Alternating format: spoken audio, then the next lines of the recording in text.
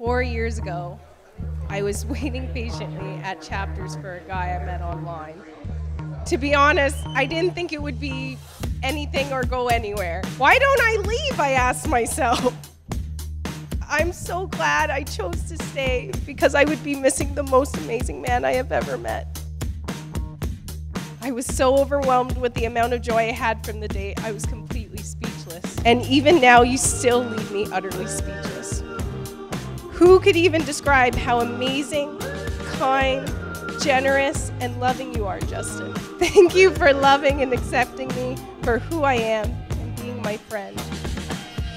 I thank God every day for bringing us together. I can't wait to spend this amazing life with you. Justin, I love you. Cindy, you are a beautiful person with a great sense of humor, quiet humbleness, and of course, a very beautiful soul. I am so grateful that God has brought us together to help each other preserve and thrive as we build our lives together. Even though the world can be a challenging place, the world truly gained more beauty because of you. Behind your beautiful natural smile is a love you demonstrate by your words and actions, not only to me, but also to every single person that meets you. I am a true believer that children see things that we cannot see. They truly see only love when they see you. I am so very grateful I was able to see that too. Yesterday, today, and for the rest of my life, I promise to continue growing with you as my best friend, the love of my life, and my beautiful wife for life. Sydney, I love you.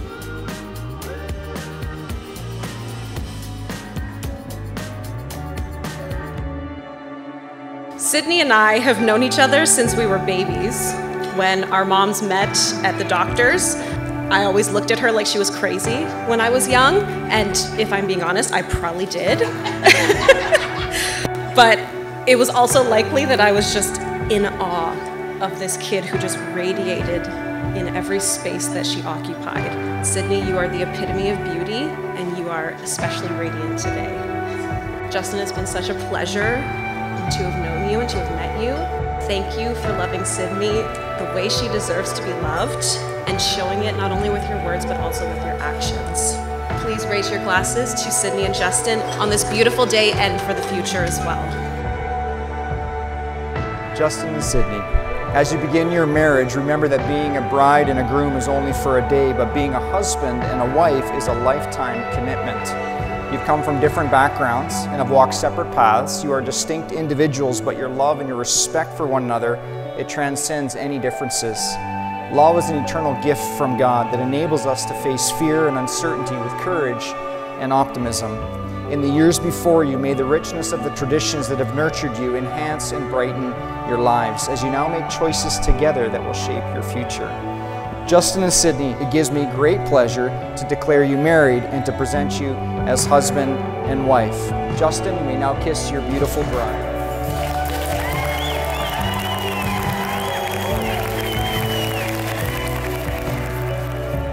When I first met Sid, I thought this lady must be a scam.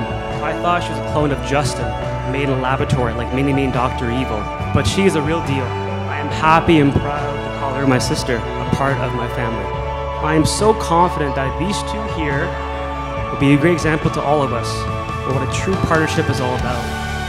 As I look at you both tonight, I know at this moment, Justin is the luckiest guy in the world. I wish nothing but prosperity and love forever and ever. Cheers, guys.